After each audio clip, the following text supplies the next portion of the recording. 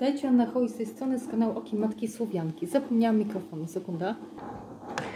W tym filmie, w tym vlogu będę chciała się zastanowić, dlaczego ja tak bardzo lubię to Podlasie. I nie wiem, czy dojdę do jakichś konkretnych wniosków, ale chciałabym się zastanowić, może z Wami, e, może chcielibyście pokomentować. E, wiecie, jest taka koncepcja u mnie słyszalna w mojej rodzinie, jak Polska A i Polska B. Słyszeliście? Słyszeliście? Polska A y, to byłaby ta Polska y, zachód. Y, zachodnie województwa, a Polska B to byłaby Polska A, a Polska B to byłyby te wschodnie województwa. To ta koncepcja cała myślę, że ciągnie się już od okresu zaborów gdzie po tym okresie faktycznie widoczna była różnica w rozwoju gospodarczym e, tych województw, które były po niemieckie, ogólnie można powiedzieć, czyli po tych austriackim zaborze e, i e, niemiecko-austriackim, tak? oraz tych austriacko-pruskim oraz tych województw, które były rosyjskie jest deficyt. Ale no dobra, to idźmy głębiej w tą koncepcję. Znaczy, jakby bardziej może w pytanie. Dlaczego ja lubię tak bardzo to Podlasie? Może to jest po prostu tak, że e, ja jestem ta osobowość INFJ e, i ta osobowość ma taki myk, e, ma taką przypadłość, że daje trochę za duży kredyt zaufania ludziom, to znaczy widzę ludzi bardziej w ich potencjale, widzę ich potencjał, widzę jacy mogliby być. Bardzo często mam taką tendencję, żeby sprawdzać e, daty urodzenia, zodiaki, e, pytać o dzieciństwo, co lubił, czy ja robię wywiad osobisty, e, zupełnie czasami nieświadomie, a czasami świadomie, ale nie mówię to tej osobie zazwyczaj, że to robię. I w związku z tym e, sporo takiej osoby wiem, ale faktycznie wtedy widzę ją w takim świetle trochę tak, nie tak jak ona jest, tylko w takim trochę moim marzeniu. Oczywiście to jest bardzo straszne, e, bo w ten sposób powstają też związki toksyczne, takie, gdzie kobieta e, widzi tego partnera w takim jego najlepszej wersji siebie, podczas gdy on często może nie dorastać do tego ideału. I może tak być. Może tak być, że ta moja ciocia, o której ja tak opowiadałam ostatnio we vlogu, e, ciocia dziewiątka, 927, e, tak sam, taki sam numerek jak ja, e, może być tak naprawdę nie taka sama. Może to być tak, że ona jest inna. Jest pod znaku byka, jest zupełnie inna. Może to być tak, że mi się wydaje coś tam, a ona tak naprawdę jest po prostu e, kobitką taką sobie e, trzymającą się ziemi, e, ateistką i tak dalej. A ja sobie coś tam wymyślam. Może tak być, ale nie musi.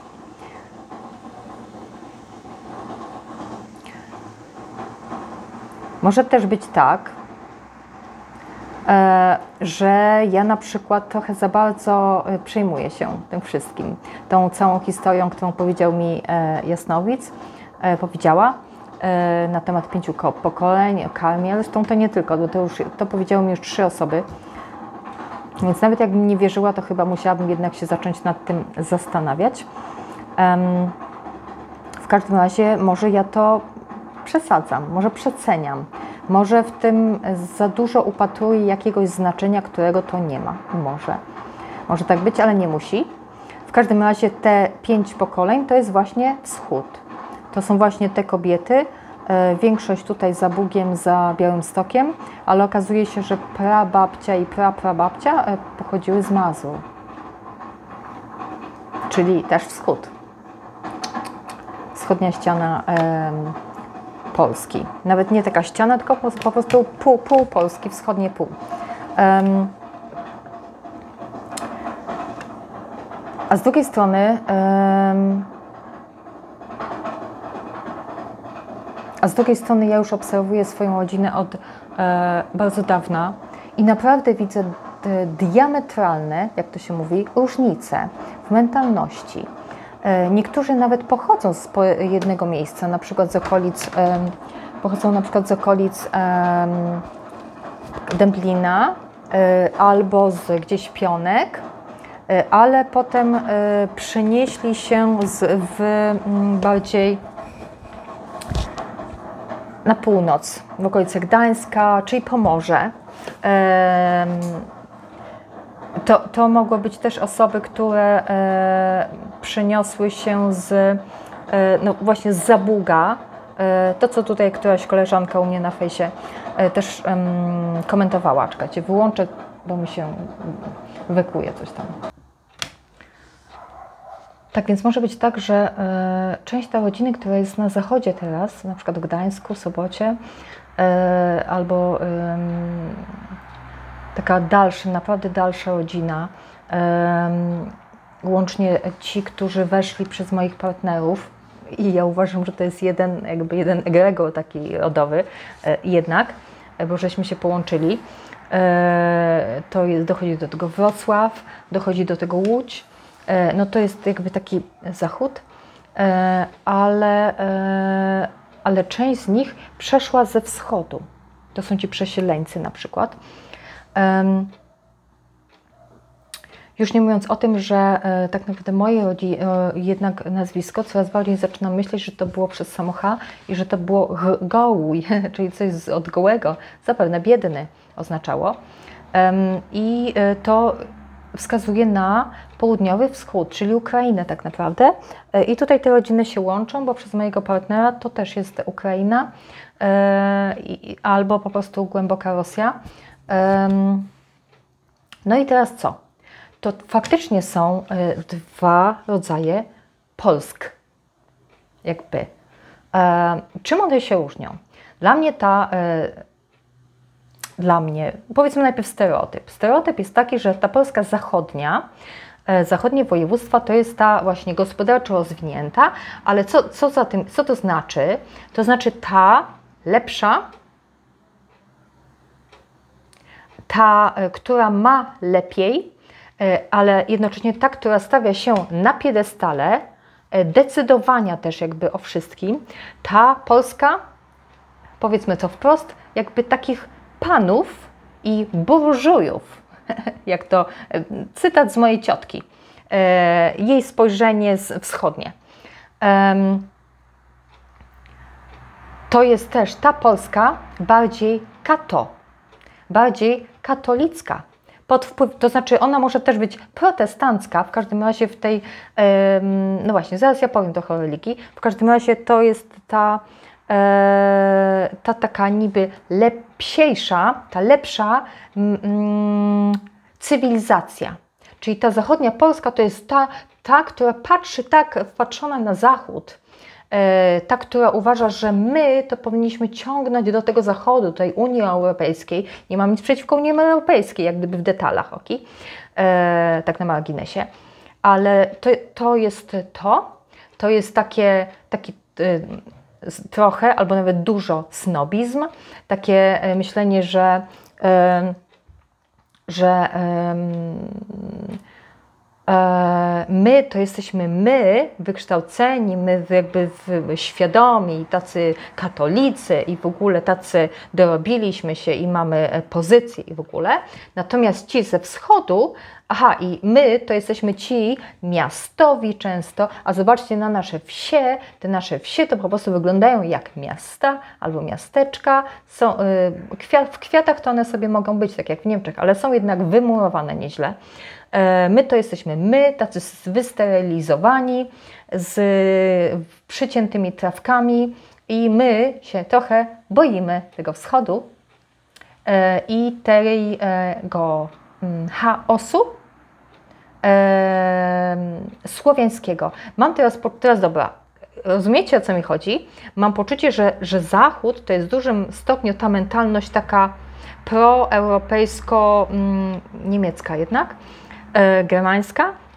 E, to, to, to, są cały czas Słowianie, my jesteśmy Słowianami, ale chodzi mi o to, że zdajmy sobie sprawę z tego, że nas podzielono jako Słowian w momencie chrztu Polski, ale znaczy w ogóle wchodzenia chrześcijaństwa do Europy, tutaj na nasze słowiańskie tereny. Czechy przyjęły, tak, Polska przyjęła i tak dalej, Litwa i dalej. Jakby podzieliliśmy się, bo część przecież została, część przecież, ojej, część przecież została prawosławna, w sensie Rosja wyszła z tego, prawda? E, jeszcze układy typu grekokatolicyzm i tak dalej. W każdym razie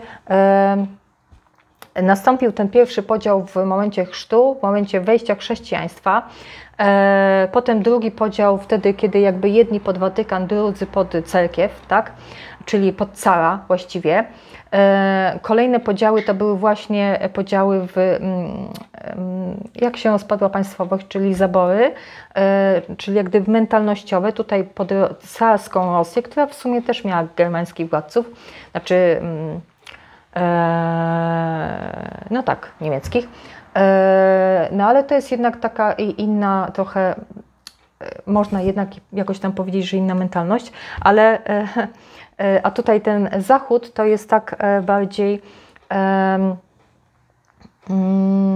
e, te zabory zachodnie bardziej pod tą niemiecką taką mentalność. I teraz nie można powiedzieć pruską, bo Prusy to jest jednak zupełnie co innego. I w ogóle jest ogromnie dużo w tym wszystkim niuansów, tak? Bo ca, ca jakby caryca to jakby to, to i mm, E, ta narzucona władza, to jest w dużym stopniu, to były wszystko monarchie i one były właściwie spójne, podobne. Natomiast e, mam poczucie, że e, w tej Polsce B, zaraz przydam jej kilka cech, pozostała ta tak zwana właśnie dusza słowiańska, ta mentalność chłopska, ta mentalność, co to znaczy chłopska? Chłopska w sensie związanie z ziemią, y, poczucie duchowości, to wszystko zostało tam,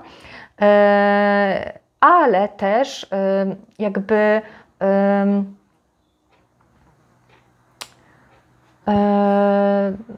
zniewolenie, mam poczucie, jest właściwie takie samo. W sensie, bo tu cała to jest ta taka władza y, silna i, i Prusy, i władza pruska, to, to, to właściwie takie same absolutyzmy były, bym powiedziała. Takie samo rozwarstwienie. Tylko może tutaj jakaś warstwa średnia powstawała w, e, na zachodzie Europy, a w, tutaj na wschodzie nie. No dobra, ale dobra, jakieś cechy dla tej Polski B. No to, to już powiedziałam, tak? Ta Polska B, czyli tu Mazury, Podlasie, potem za Bugiem, Podkarpacie i to jakby to wszystko to, e, to jest właśnie nie kato, to znaczy to jest, to jest wymieszanie. Przede wszystkim tu jeszcze jest wymieszanie, moim zdaniem bardzo duże. Czyli tak, jeżeli katolicyzm to ok, ale oprócz tego jest jeszcze prawosławie i e, jakiś grekokatolicyzm, ewentualnie i jeszcze e, muzułmanie i jeszcze Żydzi. Sporo. Więc jak gdyby nadal ta wschodnia część to jest część otwarta. E, ta wschodnia część to jest znowu, jeżeli na zachodzie mamy tych panów, to na wschodzie mamy tych chłopów i tych to, co, co mówią, mówi moja ciocia, wrzucę to, ale jak kogoś jak naprawił, jak uda mi się jakieś może wstawić podpisy, bo czasami jest to niesłyszalne. W każdym razie to, co ona mówi. To, tu byli biedni ludzie i na Mazurach byli biedni ludzie i oni służyli u panów, u burżujów. E, taka była rzeczywistość, czyli jakby jest to rozwarstwienie, że jakby zachód to jest społecznie wyżej, a wschód to jest społecznie niżej. Tylko pytanie jakby, co to jakby ukształtowało? No więc to wychodzi na to, że tak się stało ze względu na e, wtłoczony, ze względu na religię. E, bo to religia e, jednak, trzeba powiedzieć, katolicka, czy, czy w ogóle chrześcijańska, y, szła w parze jednak z feudalizmem i z takim dużym rozwarstwieniem społeczeństwa. Pierwotna religia y, słowiańska nie miała czegoś takiego. Człowiek był równy, kobieta i mężczyzna byli sobie równi, mieli inne zadania i role, ale byli równi. Na pewno w swoim człowieczeństwie byli równi i nie było takiego dzielenia typu kobieta to samo zło, a mężczyzna to samo dobro, typu, tak? Um, człowieczeństwo było jakby, miało się pełnię człowieczeństwa i pełnię praw i pełnię wolności. Ta wschodnia Polska, Polska B, to jest tak zwana Polska, Polska B, ja nawet lubię to Polska A, Polska B, Polska B, Polska bo, Boga, Polska Polska. Ta Polska B to jest Polska, słuchajcie, równocześnie taka ponieważ jest wielokulturowość nadal tam i wieloreligijność i wielonarodowość nadal, znaczy nadal jest, ale wcześniej jeszcze bardziej była przecież przed wojną, e, to to, to jest takie, e, po, po, tej, po tej stronie jakby Wisły, e, to jest takie, mm, otwartość jest ogólna i mentalność też bardziej otwarta i tu się zachowało coś, co ja lubię, coś, co też ok, to może przeszło w dużą skrajność, czyli mm, jakby moralność. Ale ja wolę tą wschodnią moralność. Bo o co chodzi? Ta zachodnia moralność jest bardzo kato. Co to znaczy? Bardzo katolicka, czyli bardzo taka, jak ktoś po francusku mówi, constipy. Y, I, I Francuzi protestanci y, skądinąd też są tacy, ale y, ci, którzy stali się jakby ateistami, odeszli liberalni, oni mówią, Boże, Ty jesteś taki constipé, jak to przetłumaczyć,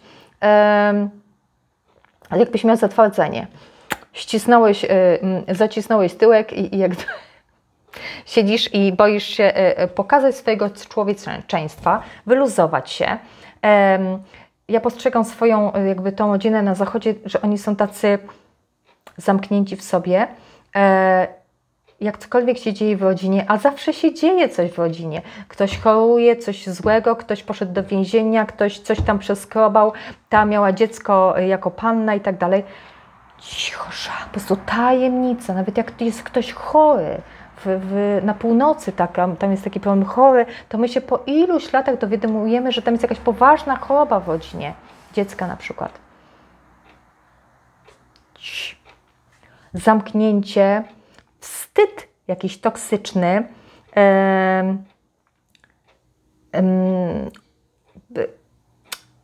e, jakieś sekrety, E, a jednocześnie duże takie ambicja, perfekcjonizm, dążenie do takiego, e, tak, nie, nie ma luzu. To jest takie trochę niemieckie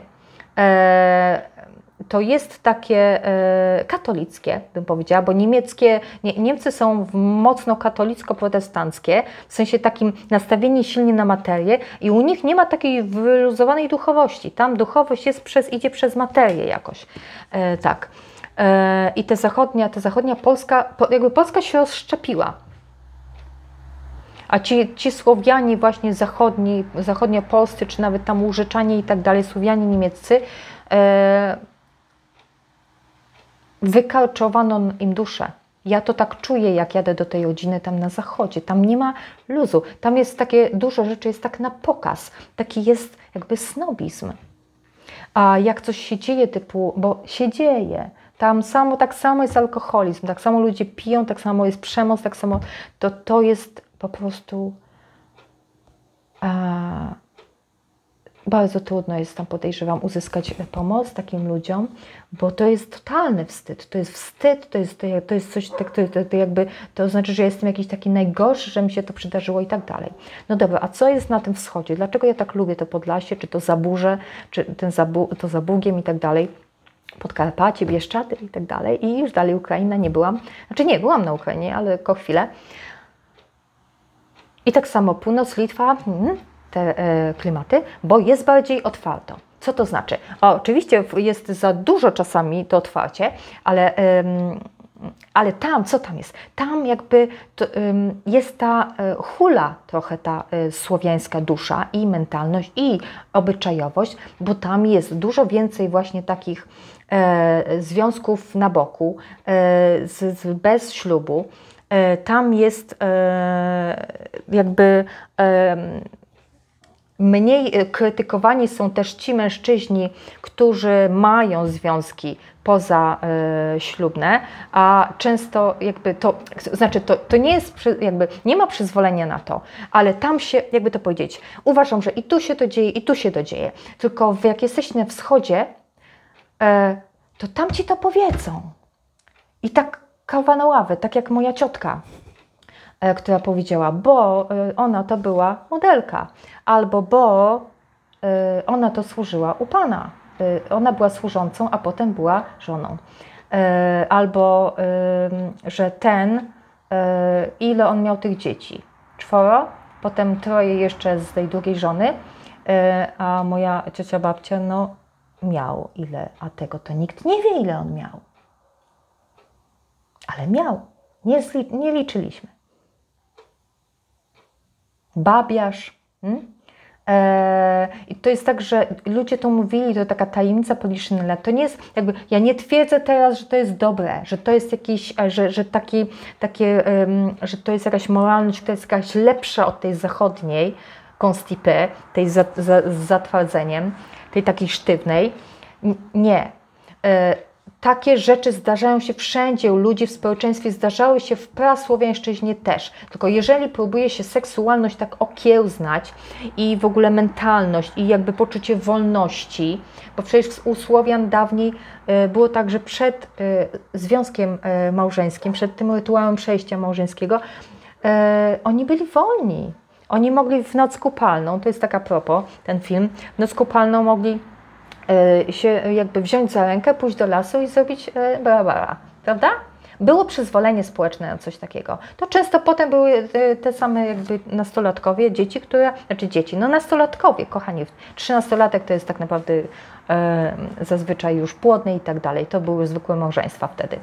W każdym razie e, potem e, oni decydowali się na małżeństwo, często tuż po tej kupalnotce. Były tańce przecież nago, dziewczyn. Ale dobra.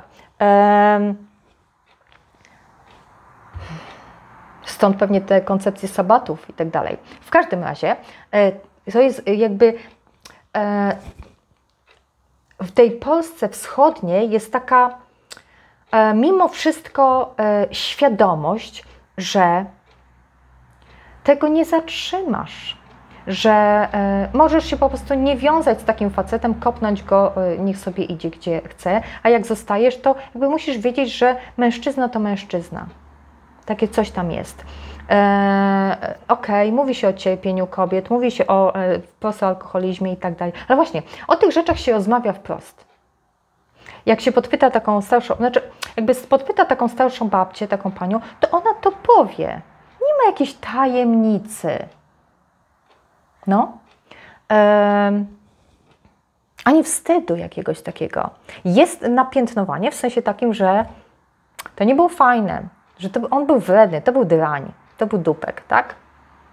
Ale z drugiej strony nikt nie mówi, że on był grzeszny, to po prostu w grzechu żył, że to po prostu, e, że, że ksiądz mu coś tam, coś tam.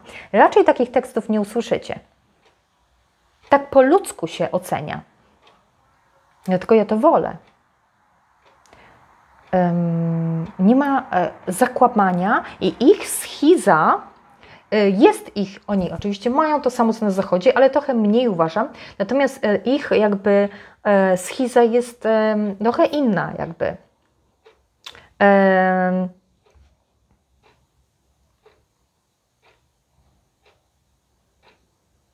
Uważam, że wtedy, kiedy się mówi otwarcie o trudnościach i o piciu, i o różnych rzeczach, i krytykuje otwarcie kogoś nawet z rodziny, to to jest zdrowsze, niż jak się w ogóle o tym nie mówi. Jak się, jakby, bo powiedzenie tego to jest jednak krok do tego, żeby ktoś coś zmienił.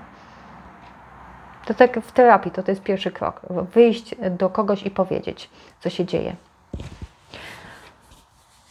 No i teraz więc pytanie jakby, e, która, która Polska to jest ta Polska jakby lepsza, lepsza, a która gorsza? Jakby, e, no pewnie w ogóle nie powinno się w ten sposób kategoryzować. Fakt jest faktem. Jesteśmy podzieleni jako Słowianie. Teraz jest na tej zasadzie, że ludzie piszą, jacyś tam wielcy e, z polonistyki w ogóle, jacyś profesorowie, że e, co to jest słowiaństwo, słowiańszczyzna?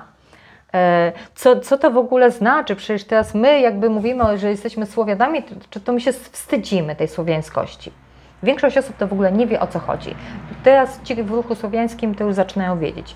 Natomiast e, ludzie mówią, że przecież w ogóle, ale ja nie rozumiem Czecha, więc jak gdyby nie ma żadnych e, związków. No ale genetyka chociażby mówi, że genotyp tak naprawdę jest ten sam, e, a jak się e, naprawdę po, pojeździcie po tych państwach słowiańskich, to można się porozumieć. można się porozumieć. To znaczy, że jest nam bardzo blisko. No dobra, ale czym zostaliśmy podzieleni? No moim zdaniem są dwa podziały. Ja to chyba w pewnym momencie zaczęłam się nad tym zastanawiać, jak przeczytałam taki artykuł pana Białczyńskiego, znaczy głównie artykuł o Żydach, ale potem też chyba były inne na jego blogu bialczyński.pl. E, a, a propos podziałów właśnie w społeczeństwie, znaczy w ogóle podziałów w, Słowiańszczyzny, e, tam było też o Żydach, ale to, to, dotyczy, to dotyczy, to jest ten sam temat. No to jakby główne to jest społeczny, czyli rozwarstwienie społeczeństwa, czyli sięgamy do feudalizmu, a drugie to jest religia. Ale czy to są dwie oddzielne rzeczy? No raczej nie, ponieważ tak naprawdę ten system e, katolicki, e, zwłaszcza, ale w ogóle kościelnej struktury, chrześcijaństwa, które ustrukturyzowały się w Kościół e, i przeszło jak gdyby w cesarstwo rzymskie, przechodzące w niemieckie i tak dalej, to jest system już rozwarstwienia, to jest system wojskowy, system jakby e, spójny całkowicie z e, monarchią absolutystyczną, z feudalizmem. Tak naprawdę to jest jeden system. Więc ja nie wiem, czy w ogóle można tak mówić, że jakby, że nas dzielą oddzielnie religia, a w ogóle to kultura. No to nie. Nie, ja tak nie uważam. Uważam, że Polska i w ogóle Słowianie są podzieleni e, jakby jest tak naprawdę e, roz, mm, rozwarstwienie pod tytułem e, ja jestem panem, a ty jesteś e, nikim, tak? A ty jesteś moim sługą. Czyli jak gdyby pan niewolnik, takie jest główne rozwarstwienie. Ja jestem lepszy, ty jesteś gorszy. I, e, i, i na, jakby można jakby drugorzędnie powiedzieć, że nakładką to jest jak gdyby tak, ten katolicyzm, e, to jest byłby ten pan, a powiedzmy, no na przykład prawosławny, czy ten ze wschodniej Polski, to byłby ten niewolnik. Ale to się okazuje na przykład na, na, na Żydach, pan, e, na narodzie żydowskim pan e, Białczyński tłumaczył, że e, przecież Żydzi tak naprawdę to właściwie są ateiści. Wielu to jakby w komunistów, czy potem, czy faszystów to byli Żydzi a religijni totalnie. Czy oni mówią w języku jidysz? No raczej nie, nawet nie praktykują właściwie swojej wiary. A te, to samo można powiedzieć o Polakach. E, wielu katolików, to czy oni praktykują wiarę? No główno prawda. No to, że pójdziesz raz e, w tygodniu do kościoła, to nie znaczy, że praktykujesz wiarę. W każdym razie, e, właściwie w tym momencie można by powiedzieć, że co nas dzieli? Polskę A i Polskę B i w ogóle Słowian, czy należysz do tej kategorii panów? Co też oznacza katolików? Kato, te, te, ten zachodnia Europa, e, tych ma, posiadaczy, e, rządzących, czy na, e, tych e, miastowych, czy należysz do kategorii niewolników, czyli tych, tych sług, tych biedniejszych, tych chłopów.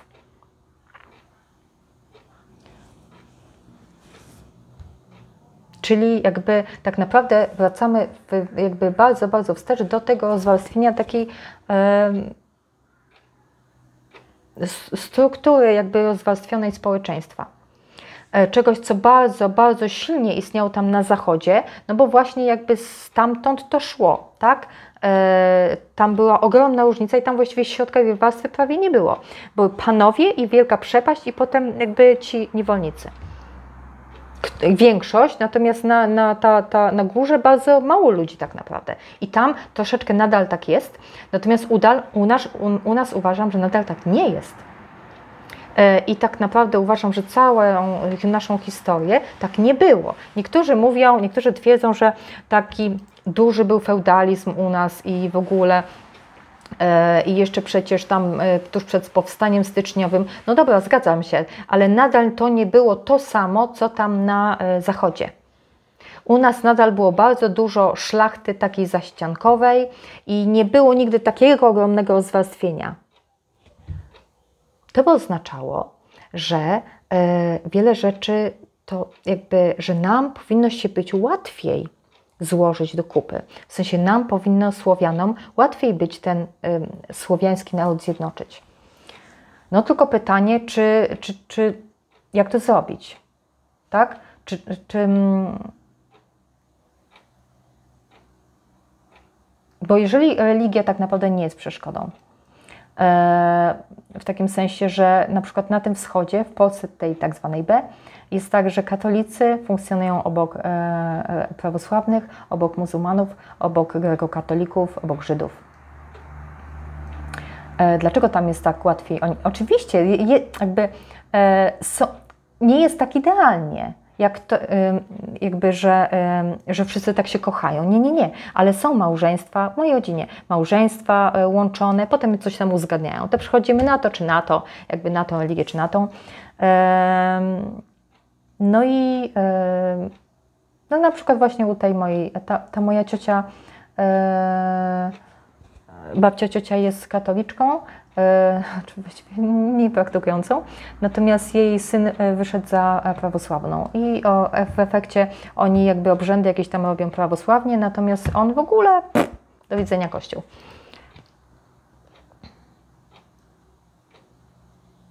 Więc tak naprawdę problematyczne w tym wszystkim jest mentalność, mentalność pan, e, pan niewolnik, a nie religia. Tym bardziej, że katolicyzm w Polsce e, funkcjonuje głównie na zasadzie e, czerpania z, pra, z pra, prasłowiańskiej religii i to jest wszystko to samo. Wystarczyłoby tylko zdjąć tą, tą, ten, tą ustawkę e, hierarchiczną i ten system. Naprawdę. Oczywiście pewne rzeczy pewnie się nie cofnie, typu mamy jednak łaciński alfabet i, i, i tak dalej. Myślę, że to tyle ode mnie. Tak patrzę, czy coś jeszcze, ale już gadam 30 minut, więc możemy się zaraz włączyć.